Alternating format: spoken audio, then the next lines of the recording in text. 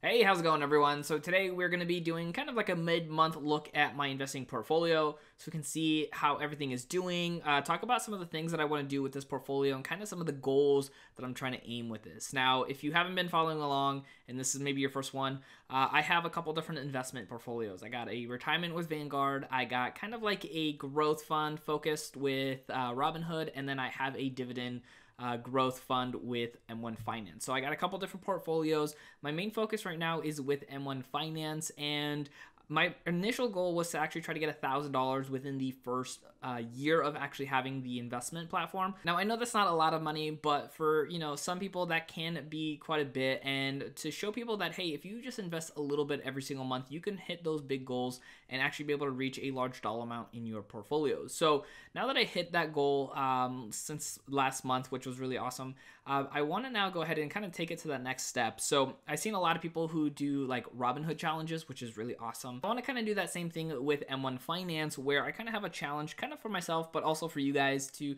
know, kind of see this and see it going in real time. So this is going to be a $10,000 uh, M1 Finance challenge. So I want to try to get to $10,000 as quickly as possible uh, by, you know, constantly investing into the actual market, making sure that I pick the right funds to be invested in so that way they grow. Now, of course, being that, you know, we're in currently 2020, so things can always be changing. I know a lot of people get really worried about the market going down, but I want to be here whether the market is going up or down. So I want to show you guys that you shouldn't care if the market is dipping 20%. You should still be buying into the stock market. I know there might be some other channels out there that will stop showcasing their platforms or their overall portfolio, I should say, because it might be down by 20%. But I'm not going to be shy to share that with you guys. So every single week, I'm still going to be investing. So I want to make sure that every month that a couple of times I am showing you guys my portfolio, how it's doing. I usually like to show you guys how much I make um, at the end of a month with dividends because I always find that really fun and exciting to you know be sharing with you guys. So if we look at my M1 Finance portfolio right now, I am currently sitting at uh, $1,593.83, which is freaking awesome. So um, the reason I wanted to show it this way is right now with M1 on my one day, which is ending on the 15th of February. So uh, hopefully just a few days after you guys are watching this. Um, right now, I had a gain of four dollars and seven cents with 0.26, uh, you know, return for the one day. But if we go to the week, which starts getting a little bit more important, uh, we actually had a gain of 1.29%, which is almost $20. So if we look at this, um, you know, a little bit was dividends, most of that was market gains. So that was a nice week. And then if we look at the month, um, you kind of see some weird stuff going on here in the overall month. And the reason for that is because if you were paying attention to Tesla or heard about Tesla, they had like a crazy spike in just a short amount of time. And for somebody who is a big fan of Tesla, I didn't want to be fully out of it, but I also wanted to make sure that if that dropped pretty significantly, that I was able to get some of the gains at the top and then kind of rebuy into them at a lower cost, which is essentially what I did. So I sold um, you know, all of Tesla at one point, and then uh, for a few days, which was the weekend, I was kind of you know debating on what I should do, reinvested, and then got back into a little bit of Tesla, and then put the rest back into my overall portfolio.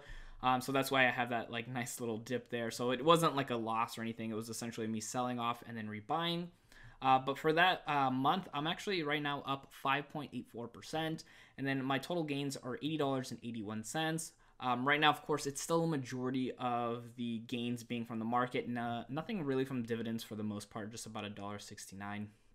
And then if we go over to the quarter, um, you're going to see this quarter was fantastic. We've had a growth right now, return of 13.50%, uh, total gains of $154.03. So you can see here back in November, uh, on November 18, 2019, I had $911.48. And again, now we're sitting up there at the almost $1,600. Um, if we go to the one year marker, uh, we're actually a total gain of 215 bucks, which is really, really nice to see. Uh, total returns of 48.14. I think just overall, I think my overall returns is around 11. We'll, we'll check that in a bit. And then if we go to the all, it's only been uh, like two weeks after um, I actually started this account from the full year. Um, but we have a total gains of $220, which is a 52.95 return. So that is pretty awesome to see. Um, and you can see here all the little uh, bump ups here. And then every once in a while, I see nice little jumps. And that's when I had a little extra money to put in. But I was investing every single week. So this is just showing you the power of consistently investing. And, you know, I wouldn't have this extra $220 if I didn't start, you know, a year and some change ago. And Again, I know for some people, $10, $20, $30, even $40 a week is not a lot to be investing with, um, as there's people out there putting a lot more. But I think it, one, helps other people out there that if you are investing even small amounts, it can really be beneficial for you. And I think you get really encouraged to start learning more, get excited, and actually continue to be investing because if you put like $500 in and you know maybe your money's going up and down and you're not understanding, that's tough. But if you do $100 at first and then maybe like $10 a week, you're going to start really understanding how the market's working. Um, and I think it really works out for most people. Now, here's personally one of my favorite things about M1 Finance. So I have my overall pie here, as you can see, and I have it into different sectors. So I have one portion of my overall portfolio be in the Vanguard S&P 500, which is an ETF, and that is essentially just a bunch of companies put together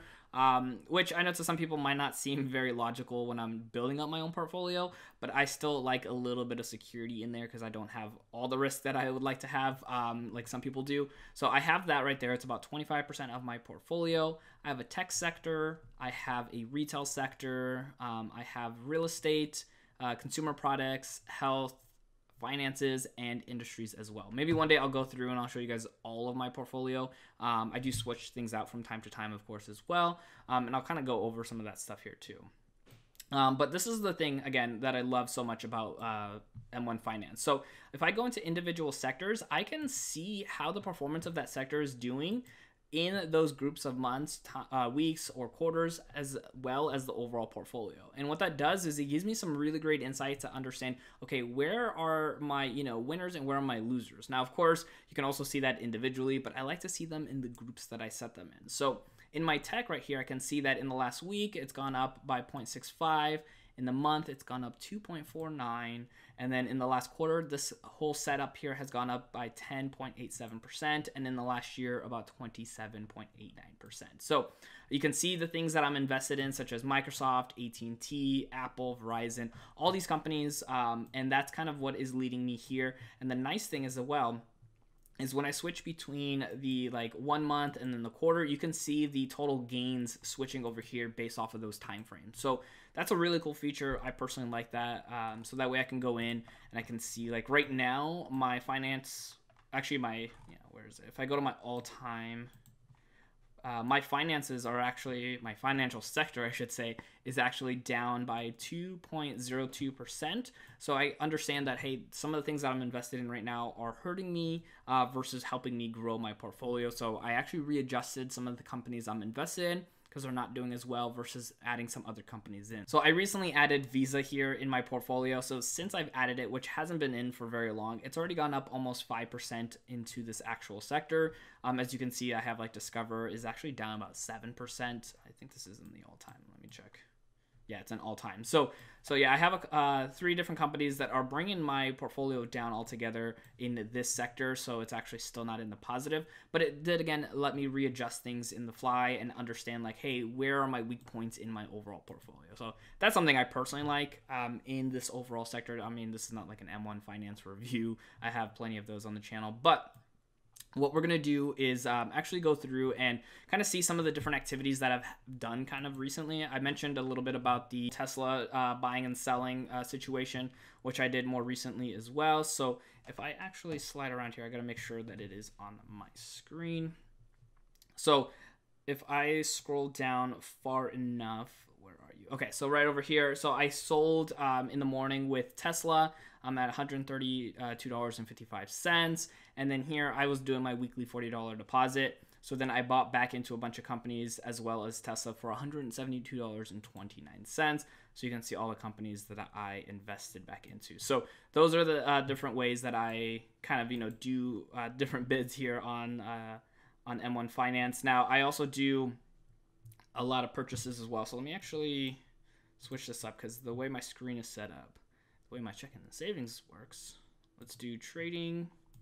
All right, that makes it a little easier here. So we can see here that uh, these are all my trades. So uh, pretty much once a week is when I'm doing my deposit. And then uh, you can see here at one point it was like $30 a week. Uh, sometimes it jumps up a little bit depending on if I got like gifts or if I had a little extra money. Um, I'll do some extra deposits. Uh, usually like once a month I'll have a little extra. And then they do the purchases. So I can always go in here and see, you know, this time around I put in 40 bucks. I had a little bit of extra money in my overall funds, and then this is where all of my money got split up into, which was really nice to see. Um, I know sometimes people kind of make fun of the fact that you know 70 cents goes into AT&T and 14 cents into uh, Lockheed Martin, so that's obviously not a lot. Like you can see here, this is such a small amount of actual shares that I bought into uh, Lockheed Martin. But what I love about this is that over time, I saw having more ownership into these companies, and that was actually um, a question that somebody came up and asked in the comments in one of my videos, which I love answering those for you guys. So if you have comments, let me know in the comment section down below. And while you're down there, make sure you guys hit that like button too, because those uh, those likes really help the YouTube algorithm, of course, so that way I can continue to grow and other people can find this channel and join in on the journey. So the question that I had come up was actually from a gentleman called Bill Lee and he asked this great question. It said, Can a fractional share become a whole share if I keep adding money into my fractional share? And the answer for that is easily a yes. Um, but I want to show people kind of what that really entails because when you buy into these companies, so like I said, with fractional shares, like if I go in here, I'm buying into like Cisco for 16 cents, uh, 3M for 56 cents. And the reason for that is because I have about 51 funds that I'm investing in. So when I'm only putting in 30, 40, 50 bucks, it's not breaking it apart very well. Um, obviously, as I increase the amount of money I'm putting in, then it's going to be dispersed a little bit nicer. But this is the thing that I love about it the most is that I can, yes, buy into these companies at small fractions. And then over time, I can actually buy into a full share. So what I'm going to do is I'm going to show you with AT&T. I'm going to show you guys here. So uh, let's see how far back I can go. So AT&T, I can go all the way as far back. Again, I just got to make sure it's on screen here. I can go all the way back from June 12th of 2019. This is the first time I bought into AT&T. Now, I bought the first set at $9.37 is what I put in, and it bought me about uh, 0.29, so about 29% of one share. And then after that, you can see here, it started doing smaller amounts. And the only reason I had a big chunk at first was because it was a brand new stock in my portfolio and I didn't have that many different companies to be investing in. So a lot more of it went into the to just this one. So then over the uh, coming weeks and months, you can just see, you know, 21 cents, 14 cents, a dollar and 13 cents dollar and 2019 cents not a lot of money going into these uh, into this fund uh, but you can see here it's going to get cut off at the bottom but again just small amounts um, here and there you know a little bit here a little bit there um, i put you know 40 cents in here which bought 0.01066 which is like 1% of a share but now because i've been buying into them for so long I can flip this around here. You can see here with AT&T, I actually own 1.54164 shares of AT&T in total. I have a total gain of about uh, 4.37%, which is not fantastic, but they're not really all about growth. They're definitely with the dividend payouts. But that right there is giving me the opportunity to have a full share and then some of course with this company because I'm buying into those small pieces versus having to pay that full amount. Now, AT&T doesn't have a, you know, large dollar amount that I need to be depositing money into, so it's, you know, it's easy to buy one share into them, but then when you have other companies that are, you know, a couple hundred dollars, maybe even thousands of dollars, it makes it really tough to buy one share because one, that's a lot of money. And then two, that is really shrinking your overall portfolio to have so much of your money invested into one company. So that's my favorite thing about fractional sharing, and that's why I love M1 Finance, and I'm excited for Robinhood to finally be getting it here in the next couple months. But yeah, I can be buying into these companies. So I have like a couple companies that I have at least one full share, and then everything else is less than one share because, again, little by little, it's going in there. And over time, my plan is to be depositing more every single month. So I should be having more being able to disperse between these companies. So it's not like just pennies here and there. So that's that's a big thing for me personally, um, and I'm excited for that. So that way I can continue to grow the portfolio, continue to grow ownership in these companies that I have, and not have to wait till uh, till I have a full amount of money to be able to buy one share in those companies. Because I'm gonna miss out the opportunity of all that growth and all those dividends. Because here's the really cool thing too. If I go back in here if I go to dividends only just for AT&T, I've only gotten paid out 3 times from them since I started investing. But check this out on August 1st, I got paid 17 cents. November 1st, I got paid out 29 cents. And then on February 3rd, I got paid out 61 cents. So that is money that if I hadn't uh, been investing in them already and putting small dollar amounts in there every single week or month, however often it gets put in, I wouldn't get those dividends. So something to always consider. That's that's one of the other great factors about this is I get my fractional dividends on top of having fractional ownership in the companies because I get the growth and I get the dividends for being invested in these companies. And like I mentioned, there are companies out there that are in the thousands, like you guys might have heard of Amazon. So with Amazon as an example, if I go into uh, into my portfolio here, I actually have some ownership in Amazon, and I am up twenty two dollars. I'm actually up twenty two point four nine percent on my overall investment, which is only $1.65, so it's not a lot of money, but that's a big percentage because I was able to invest in the company. Now, if you're not familiar with where uh, Amazon st- stands right now, they're at $2,134.87 to buy one share into that company. So for most people, that's really unfeasible to be able to buy one share. And again, even if you could buy one share, that might be a huge chunk of your portfolio, and that's really risky. So I'm really happy about fractional shares because I can buy into these companies at such small increments that I can still have my money growing for me. So you can see here, um, I originally put in $14.78. So now I have a little bit more value in my money because I was able to invest in Amazon at a much easier price point than that $2,134. So we're to go back here onto the main part of the portfolio. Like I said, I over time will probably go through and show you guys more of the full shares that I have because I have 51 different companies. I don't want to bore you guys with going over each one individually. Um, so sometime in the future, I will kind of do something like that, uh, depending on what people want and what they're excited for in the overall portfolio. Like I mentioned before, I do a monthly video talking about how much I earn in dividends because I love sharing about that. So I mentioned earlier that I sold and then bought back into Tesla. Um, if you've been following the channel for a while, Tesla was actually in my retail stock um, sector, and I actually moved them over to my tech um, just because I feel like they're obviously more of a tech company. They do obviously sell their cars to people, so they are retail as well. But I decided to move them into the actual um, tech pie. I'm like super out of focus right there.